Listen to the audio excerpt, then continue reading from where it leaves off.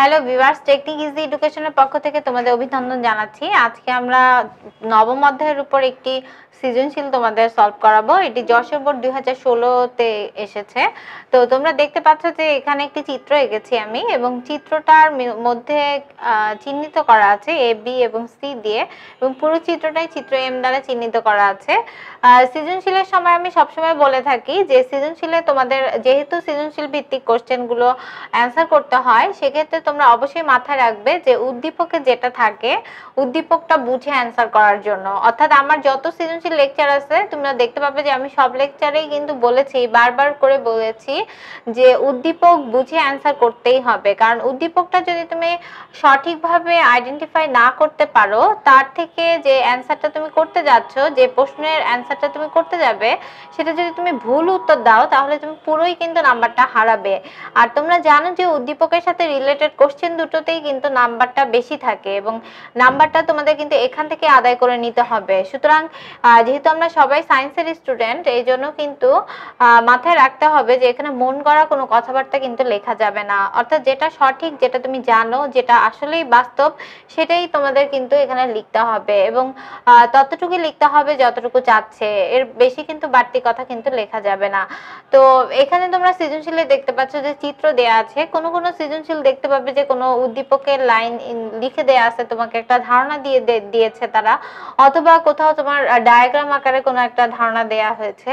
সেগুলো দেখে কিন্তু তোমাদের বুঝে নিতে হবে যে এখান থেকে কি কোশ্চেনটা চাচ্ছে এবং তার অ্যান্সারটা তুমি কীভাবে কিন্তু খাতায় লিখবে। প্রেজেন্টেশনটা খুব বেশি জরুরি, কারণ খাতা কিন্তু তোমার প্রেজেন্টেশন যদি ভালো না হয়, তাহলে কিন্তু টিচার সন্তুষ্ট হয় না। তো তোমাকে অবশ্যই খাতায় কিন্তু তোমার মার্কস নেয়ার জন্য টিচারের কাছে অবশ্যই খাতার প্রেজেন্টেশনটা তোমাকে সঠিকভাবে করতে হবে। তো আমরা কোশ্চেনে চলে যাচ্ছি। কোশ্চেনগুলোতে প্রথম যদি আসি, প্রথম থেকে প্রথম যে কোশ্চেনটা এখানে বলা আছে, সেটা হচ্ছে অস্টিওব্লাস্ট কি? তোমরা জানো যে সৃজনশীলের এক নম্বর কোশ্চেনটা সবসময় জ্ঞানমূলক কোশ্চেন হয়, আর জ্ঞানমূলক কোশ্চেনের মান থাকে মাত্র ওয়ান সেক্ষেত্রে তোমরা যতই জানো বা সেই সেই- প্রশ্নটা সম্পর্কে অনেক বেশি ধারণা তোমাদের থাকলেও, তোমাদের অ্যান্সারটা করতে হবে কিন্তু এক লাইনে। অর্থাৎ মাত্র এক কথায় তুমি কিন্তু এখানে উত্তরটা লিখতে পারো। অর্থাৎ এক মার্কসের জন্য তোমার কোনো বর্ণনা দিয়ে টাইম ওয়েস্ট করার কোনো কারণই এখানে কিন্তু নেই। তো এখানে অস্টিওব্লাস্ট কি? আমরা কিন্তু আমাদের নবম মধ্যে যে লেকচারগুলো বলেছিলাম, এই নবম অধ্যায়ের লেকচারগুলোতে এগুলো কিন্তু দেয়া আছে। আমি তারপরে অ্যান্সার বলে দিচ্ছি। অস্টিওব্লাস্ট হচ্ছে অস্থির কোষকে অস্টিওব্লাস্ট বলে। তোমরা জানো যে আমাদের শরীরে দু ধরনের হাড় কাজ করে, একটা হচ্ছে অস্থি আর একটা হচ্ছে তরুণাস্থি। এই অস্থি যে কোষগুলো দ্বারা গঠিত, সেই অস্থির কোষগুলোকেই বলা হয় কিন্তু অস্টিওব্লাস্ট এরপরে আমরা যদি সেকেন্ড কোশ্চেনে চলে আসি সেকেন্ড কোশ্চেনটা অনুধাবনমূলক কোশ্চেন অনুধাবনমূলক কোশ্চেনের মান থাকে দুই। সেক্ষেত্রে তোমরা একের থেকে একটু বড় করে লিখবে। অর্থাৎ এটা তুমি চার থেকে পাঁচ লাইন বা পাঁচ থেকে ছয় লাইনে এই অ্যান্সারটা শেষ করবে। তো এখানে যেহেতু কি, কেন, বলতে কি বোঝায়, এ ধরনের কোশ্চেন থাকে। এই ধরনের কোশ্চেনে দুই লাইন বা তিন লাইন বেশি লিখলে কোনো সমস্যা হয় না।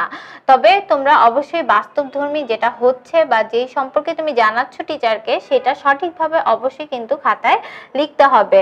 তো দুই নাম্বার কোশ্চেনে বলা হয়েছে যে অস্টিওপোরোসিস বলতে কি বোঝায়? অস্টিওপোরোসিস একটা রোগ বা ডিজিজ যেটা সাধারণত ক্যালসিয়ামের অভাবেই হয়ে থাকে। ক্যালসিয়াম তোমরা জানো যে ক্যালসিয়ামের অভাব হলে শরীরে হাড়গুলো কিন্তু ক্ষয় হয়ে যায় জীবের। তো প্রাণীর ক্ষেত্রে যখন ক্যালসিয়ামের অভাব দেখা দেয় বা মানব দেহে যখন ক্যালসিয়ামের অভাব দেখা দেয়, তখন কিন্তু হাড়গুলো আস্তে আস্তে ছোট হয়ে আসতে থাকে এবং ক্ষয় হয়ে যায়। তো এই অস্টিওপোরোসিসটা আসলে ক্যালসিয়ামের অভাবজনিত রোগটাকেই বলা হয়। বয়স্ক বা পুরুষ বা মহিলার সাধারণত এ ধরনের ডিজিজগুলো হয়ে থাকে। যাদের এজ একটু বেড়ে যাচ্ছে, চল্লিশের বেশি হয়ে যাচ্ছে, তাদের শরীরে কিন্তু আস্তে আস্তে যে টিস্যুগুলো থাকে বা তাদের শরীরে যে উপাদানগুলো থাকে, এগুলো আস্তে আস্তে কমে যেতে শুরু করে এবং কমতে শুরু করলে তখন দেখা যায় এই ডিজিজটাকে আমরা বলে থাকি ক্যালসিয়ামের অভাবজনিত হ্রাস এবং অভাবজনিত হ্রাস পাওয়ার কারণেই কিন্তু অস্টিওপোরোসিস রোগটা হয়ে যায়। অনেক সময় দেখা যায় যে, যেসব ব্যক্তি স্টেরয়েড জাতীয় অ্যান্টিবায়োটিক সেবন করেন বা ওষুধ সেবন করেন সেই সব পেশেন্টদের কিন্তু এই ধরনের ডিজিজগুলো হওয়ার আশঙ্কা থাকে। কারণ স্টেরয়েড জাতীয় ওষুধ শরীরে পড়ার সাথে সাথে ক্যালসিয়াম কমে যেতে থাকে এবং ক্যালসিয়াম কমে গেলে তখন তারা এই ধরনের সমস্যার সম্মুখীন হতে থাকেন। আবার অনেক সময় দেখা যায় মহিলাদের যে ম্যানপসটা হয়, এই ম্যানপসটা যখন হয়ে যায়, অর্থাৎ প্রতি প্রতি মাসে যে মাসিক বা মিন্সটা হচ্ছে, এটার পরে যে ম্যানপসের সময়টা চলে আসে ম্যানোপোজ যে সময়টা চলে আসে, তো ম্যানোপোজ সময়টায় যে যখন এটা বন্ধ হয়ে যায়, তখন কিন্তু অস্ট্রিওপোরোসিস রোগ হওয়ার সম্ভাবনাটা বেড়ে যায়। তোমরা একটু খেয়াল করলে দেখতে পারবে যে, এই ধরনের সিমটমগুলো তোমরা বয়স্ক পুরুষ বা বয়স্ক মহিলাদের ক্ষেত্রে কিন্তু বেশি দেখতে পাবে। আর এইগুলো থেকে বের হয়ে আসার একটাই উপায়, যেহেতু ক্যালসিয়ামের অভাব হচ্ছে শরীরে, তাহলে ক্যালসিয়াম সমৃদ্ধ খাবার খেতে হবে, প্রোটিন সমৃদ্ধ খাবার খেতে হবে, আঁশযুক্ত খাবার খেতে হবে, বেশি করে পানি খেতে হবে, ফলমূল এগুলো বেশি করে গ্রহণ করতে হবে। খাবারের তালিকায় তোমরা যখন এই ধরনের রোগী পাবে, তখন খাবারের তালিকায় যদি রাফেজ জাতীয় খাবার বা ক্যালসিয়াম সমৃদ্ধ খাবারগুলো খেলে কিন্তু অস্ট্রিওপোরোসিস হওয়ার সম্ভাবনাটা কমে যায়। তো তোমরা যখন অনুধাবনমূলক কোশ্চেনগুলো লিখবে সাধারণত ডিজিজগুলো যখন দেখতে পাবে যে এখানে ডিজিজ ধরনের কোশ্চেনগুলো এসেছে, তখন তোমরা ওই রোগটা কেন হয় হয়, কি কি কারণে হয়, রোগের লক্ষণগুলো কি কি এবং রোগের থেকে প্রতিরোধ প্রতিরোধের যে ব্যাপারটা আছে, প্রতিকারের যে ব্যাপারটা আছে, এগুলো দুই লাইন লিখে দিবে। তো অনুধাবনে তুমি যেহেতু বেশি কথা লিখতে পারবে না এই জন্য মেইন সিমটমগুলো সব সিমটম তোমার লিখতে হবে না, মুখ্য যে সিমটমগুলো সেগুলো এখানে লিখলে কিন্তু অ্যান্সারটা ফুলফিল হবে। তো মিনিমাম পাঁচ থেকে ছয় লাইন অ্যান্সার করলে কিন্তু এটা যথেষ্ট। তো এক এবং দুই আমরা বুঝিয়ে দিয়েছি কোশ্চেন যে জ্ঞানমূলক, অনুধাবনমূলক কোশ্চেনগুলো থাকলে তোমরা কীভাবে অ্যান্সার করবে। এরপরে আমরা উদ্দীপকের সাথে রিলেটেড কোশ্চেনগুলোতে চলে যাচ্ছি। উদ্দীপকের তিন নাম্বার যে কোশ্চেনটা দিয়েছে, সেটা হচ্ছে চিত্র এ এবং সি অংশের মধ্যে পার্থক্য উল্লেখ করো। তোমরা দেখতে পাচ্ছ এখানে এ অংশটা হচ্ছে এটা আর সি অংশটা হচ্ছে এটা। তো এ আর সি এর মধ্যে পার্থক্য বলছে। এ আর সি হচ্ছে অস্থি এবং তরুণাস্থি। অবশ্যই চিত্রটা বুঝতে হবে যে এ অংশটা দ্বারা আসলে কি বোঝানো হচ্ছে এবং সি অংশ দ্বারা আসলে কি বোঝানো হচ্ছে। যখন তোমরা এটা সঠিকভাবে বুঝতে পারবে, তখনই কিন্তু এটা অ্যান্সারটা তুমি সঠিকভাবে লিখতে পারবে। তো আমি বলে দিচ্ছি যে, এ অংশটা হচ্ছে অস্থি আর সি অংশটা হচ্ছে তরুণাস্থি। তো এখানে তোমার অস্থি এবং তরুণাস্থির মধ্যে পার্থক্য যাচ্ছে। আমরা যখন পার্থক্য উল্লেখ করি, তখন আমরা বলে দিই যে, সবচেয়ে ভালো হয় বেস্ট হয় যেটা যে, তিনটা ছকে যদি তোমরা পার্থক্যটা উল্লেখ করো। তো তিনটা ছকে পার্থক্য উল্লেখ করলে দেখা যায় যে, একটা ছকে পার্থক্যের বিষয় থাকে, একটা পার্টে অস্থি থাকে আর একটা পার্টে কিন্তু তরুণাস্থি থাকে তিনটা পার্টে তিনটা জিনিস থাকে। তো অনেকে যারা মনে করো যে, না, তোমরা পার্থক্যের বিষয় দিতে চাও না, তারা অস্থি তরুণাস্থি দুটো ভাগে ভাগ করেও লিখতে পারো। তবে আমার মনে হয়, আমার মতে তোমার তিনটা ছকে লেখাটাই পার্থক্য কিন্তু স্ট্যান্ডার্ড আর যখন তোমরা পার্থক্য লিখবে, তখন খেয়াল করবে যে মেইন মেইন যে পার্থক্যগুলো আছে, সেই পার্থক্যগুলোকে সামনের দিকে নিয়ে আসার জন্য। অর্থাৎ সংজ্ঞা বা দেখা যাচ্ছে যে, তুমি কোনো টিস্যু বা কোষের নাম লিখতে যাচ্ছ, এই ধরনের পার্থক্যগুলো কিন্তু ইম্পর্টেন্ট থাকে, বা তার ভিতরে উপাদানগুলো কি কি, এ ধরনের পার্থক্যগুলো উপাদান বেশি ইম্পর্টেন্ট থাকে এগুলো কিন্তু তোমরা সামনের দিকে লেখা ট্রাই করবে। তো এই পার্থক্যটা তোমরা এইভাবেই লিখবে, এক সাইডে অস্থি, এক সাইডে তরুণাস্থি। তোমরা আমাদের নবম অধ্যায়ে যে লেকচারগুলো আছে, এগুলো দেখলে এখানে দেখতে পাবে যে আমি কিন্তু বৈশিষ্ট্য এবং পার্থক্য দুটোই আলাদা আলাদা করে শিখিয়েছি এবং একটা একটা পরেই কিন্তু তোমরা দুটো কোশ্চেনের অ্যান্সার করতে পারো, এমনভাবেই শেখানো হয়েছে। লেকচারগুলো অবশ্যই ফলো করবে। আর আমরা এখানে বলে দিচ্ছি অস্থি, তরুণাস্থি পার্থক্যটা কীভাবে লিখবে? প্রথমে যদি আমি টিস্যু থেকে আসি, তাহলে অস্থি মানবদেহের সবচেয়ে দৃঢ় টিস্যু অর্থাৎ দৃঢ় কানেকটিভ টিস্যু আমরা বলেছি যে এটা কানেকটিভ টিস্যু বা যোজক কলা দ্বারা তৈরি। সুতরাং অস্থি তরুণাস্থি দুটোই যোজক কলা দ্বারা তৈরি, কিন্তু অস্থি হচ্ছে দৃঢ় কানেকটিভ টিস্যু আর তরুণাস্থি হচ্ছে নরম কানেকটিভ টিস্যু এরপর আমরা যদি কোষে চলে আসি, অস্থির কোষকে বলা হয় হচ্ছে অস্ট্রিওব্লাস্ট আর তরুণাস্থির কোষকে বলা হয় হচ্ছে কন্ড্রোব্লাস্ট অস্থির কোষটাকে বলা হচ্ছে অস্ট্রিওব্লাস্ট আর তরুণাস্থির কোষটাকে বলা হচ্ছে কিন্তু কন্ট্রোব্লাস্ট তো অস্থির কোষগুলো তোমরা জানলে। এবার যদি আমি চলে আসি মাতৃকায়, অস্থির মাতৃকাটা হচ্ছে শক্ত এবং ভঙ্গুর। অস্থির মাতৃকা হচ্ছে শক্ত এবং ভঙ্গুর। অর্থাৎ অস্থি নিজেই যেহেতু শক্ত এই জন্য তার মাতৃকাটাও শক্তই হবে। কিন্তু এত শক্ত হবে না যে এটাকে ভাঙা যাবে না, এটা ভাঙা পসিবল হবে। এই জন্যই বলা হচ্ছে যে অস্থির মাতৃকাটা শক্ত হবে এবং ভঙ্গুর হবে। আর তরুণাস্থির যে মাতৃকাটা হবে, এটা কিন্তু নরম হবে এবং স্থিতিস্থাপক হবে। নরম মাতৃকা হবে এবং সেটা কিন্তু একটা স্থির অবস্থানে কিন্তু কিন্তু তরুণাস্থির সাথে লেগে থাকবে। এরপরে যদি আমরা চলে আসি যে প্রথমটা আমরা টিস্যু দিলাম, দ্বিতীয়টা আমরা বললাম কোষ এবং তৃতীয় নাম্বারে যেটা বলেছি সেটা হচ্ছে তার যে ম্যাট্রিক্স বা মাতৃকা থাকে, আঠালো জলীয় তরল পদার্থ, সে ধরনের পদার্থের কথা বলেছি। এরপরে যদি আমরা রঙে চলে আসি, অস্থি কিন্তু ফ্যাকাশে রঙের হয়, এটা কোনো বর্ণ ধারণ করে না। এরপরে যদি আমরা তরুণাস্থি রঙে চলে আসি, তরুণাস্থি কিন্তু কালার শো করে এবং সে কিন্তু নীলাভ বা সাদা বর্ণের হয়ে থাকে। এরপরে যদি তোমরা দিতে চাও, তাহলে এখানে একটা গহ্বরের কথা উল্লেখ করতে পারো। গহ্বরটা অস্থিতে সাধারণত থাকে না। এই গহ্বরটার নাম হচ্ছে কন্ড্রিন। এই কন্ড্রিন গহ্বরটা তরুণাস্থিতে দেখা যায় বাট অস্থিতে এই ধরনের গহ্বর কিন্তু থাকে না। যেহেতু তোমরা চারটা, পাঁচটা পয়েন্ট দিয়ে ফেলছো এই জন্য কিন্তু লাস্ট পয়েন্টে তোমরা উদাহরণ নিয়ে আসতে পারো। উদাহরণে তোমরা পরিচয় করিয়ে দিতে পারো কোনগুলো অস্থি আর কোনগুলো তরুণাস্থি।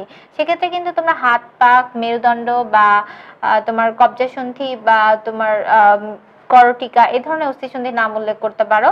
আর তরুণাস্থিতে তোমরা নাক এবং কানের পিনা অথবা দুইটা অস্থি সংযোগের স্থলে যে তরুণাস্থি থাকে, সেই কথাগুলো কিন্তু উদাহরণে আনতে পারো। তো এভাবে করে লিখলেই তোমরা পার্থক্যগুলোকে লিখতে পারবে। পার্থক্য লেখার সময় অবশ্যই ছক করবে এবং ছক তুমি দুটো করো, তিনটা করো, এটা তোমার চয়েস তবে আমার কাছে বেস্ট হচ্ছে তিনটা ছকে পার্থক্যটা লেখাটাই বেস্ট আর পার্থক্য লিখলে অবশ্যই ছকে লিখবে। বৈশিষ্ট্য আসলে ছক করার কোনো প্রয়োজন নেই। বৈশিষ্ট্য নিচে নিচে নামকরণ করে লিখলেই কিন্তু হয়ে যাবে। আর বৈশিষ্ট্য আসলে যদি পারো চিত্র অবশ্য- অবশ্যই উল্লেখ করবে। কিন্তু পার্থক্যতে কোনো চিত্র উল্লেখ করার কিন্তু প্রয়োজন নেই। এরপর আমরা চার নম্বর কোশ্চেনে চলে যাচ্ছি। চার নম্বর কোশ্চেনটা বলা হয়েছে চিত্র এম এর অনুপস্থিতিতে অস্থি সঞ্চালনে মানবদেহে কি ধরনের সমস্যার সৃষ্টি হবে? বিশ্লেষণ করো। তোমরা সবাই জানো যে উদ্দীপকে চার নম্বর কোশ্চেনটা ম্যাক্সিমাম টাইমে কিন্তু বিশ্লেষণ ধর্মী কোশ্চেন থাকে। তোমার কাছে তোমার যুক্তি বা মতামত চাওয়া হবে যে এটা কি ধরনের সমস্যা হতে পারে বা কি ধরনের কাজ করলে এটা ভালো হয়? তো এই ধরনের কোশ্চেন কিন্তু বিশ্লেষণমূলক কোশ্চেন দিতে গেলে কখনই কিন্তু আমরা ফুলফিল ভাবে অ্যান্সার করতে পারি না। ম্যাক্সিমাম টাইমে কিন্তু আমাদের এখানে নাম্বারগুলো কমে যায়।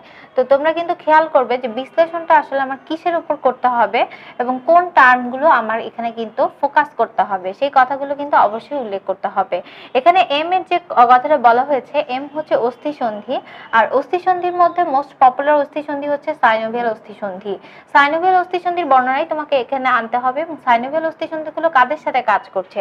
সাইনোভিয়াল অস্থি সন্ধির মধ্যে সাইনোভিয়াল রস কাজ করছে সাইনোভিয়াল অস্থি সন্ধি তরুণাস্থির সাথে যুক্ত হয়ে কাজ করছে এবং সাইনোভিয়াল অস্থি সন্ধি কিন্তু সাইনোভিয়াল গহ্বরের সাথে তরুণাস্থির হয়ে কাজ করছে এবং দুটো হাড়ের মধ্যে সংযোগস্থলে সংযোগ দিয়ে সে কিন্তু দুটো হাড়কে একটা বন্ডিং তৈরি করে রেখে দিচ্ছে।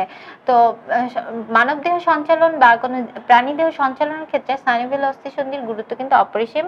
কারণ শরীরে ম্যাক্সিমাম অস্থি সন্ধিগুলো সাইনোভিয়াল অস্থি সন্ধি এটাকে আমরা দুভাগে ভাগ করে নিই, একটা সরল সাইনোভিয়াল একটা জটিল সাইনোভিয়াল সরল হলে সেটা হচ্ছে দুইটা হাড় যখন বহির্ভাগ এসে মিলিত হয়ে, যুক্ত হয়ে তরুণাস্থির সাথে হয়ে তারা সংযোগ সাধন করে দুটো অস্থির মধ্যে তখন সেটাকে সরল সাইনোভিয়াল অস্থিসন্ধি বলি। তো এ ধরনের অস্থিসন্ধিগুলো কিন্তু, জটিল অস্থিসন্ধিগুলো কিন্তু দুইয়ের বেশি যে হাড়গুলো আছে, এগুলোর বহির্ভাগ এসে মিলিত হয়ে একটা অস্থিসন্ধি গঠন করে, সেটাকে জটিল সাইনোভিয়াল অস্থিসন্ধি বলা হয়। এই অস্থিসন্ধিগুলো থাকার ফলে যে সুবিধাটা হয় মানবদেহে সেটা হচ্ছে যে, কোনো অস্থির সাথে অস্থি কিন্তু ঘর্ষণ লাগে না। অস্থির সাথে অস্থির ঘর্ষণ লাগলে দেখা যেত অস্থিটা ক্ষয় হয়ে যেত, বা ক্ষয় হলে দেখা যেত সেটা মানবদেহকে সঞ্চালনে সাহায্য করতে পারতো না বা দৃঢ়তা প্রদান সঠিকভাবে করতে পারতো না সেক্ষেত্রে প্রবলেমের সম্মুখীন হতে হতো। তো অস্থিতে অস্থিতে ঘর্ষণ রোধ করে অস্থির ক্ষয়টা তদ্যজনিত যে ক্ষয়টা সেটাকে হ্রাস করে। তো এই ধরনের কাজগুলো কিন্তু মানবদেহে এই অস্থিসন্ধিগুলো করে থাকে। তোমরা যদি আহ, ইন্টারের বইটা ফলো করো, তাহলেও এই অস্থিসন্ধির ব্যাপারগুলো কিন্তু এখান থেকেও লিখতে পারো। অথবা আমাদের যে মেইন বইটা আছে, এখানেও সুন্দরভাবে দিয়ে দেওয়া আছে। আমাদের যে লেকচারগুলো আছে, সেই লেকচারগুলোতে আমরা এই অস্থিসন্ধিগুলো বর্ণনা সঠিকভাবে তোমাদের সামনে এনেছি এবং সেগুলো দেখে কিন্তু তোমরা এই অ্যান্সারগুলো কীভাবে লিখবে, কীভাবে সাজাবে। আমি বারবার বলছি প্রেজেন্টেশনটা একান্তই তোমার ব্যক্তিগত এবং প্রেজেন্টেশনটা ভালো হলেই কিন্তু তুমি টিচারকে সন্তুষ্ট করতে পারবে এবং এখান থেকে নাম্বারটাও ভালো ক্যারি করতে পারবে। তো এই হচ্ছে আজকের সৃজনশীল যশোর বোর্ড দুই হাজার ষোলো, নিশ্চয়ই এটা বুঝতে পেরেছ। যদি কোনো প্রবলেম থেকে থাকে আমাদের অবশ্যই জানাও। আমরা কমেন্ট বক্স পড়ে তোমাদের কিন্তু উত্তরগুলো দেওয়ার, সঠিক অ্যান্সারগুলো দেওয়ার চেষ্টা করব। তো সামনের এপিসোড দেখার আমন্ত্রণ রইল। ধন্যবাদ সবাইকে।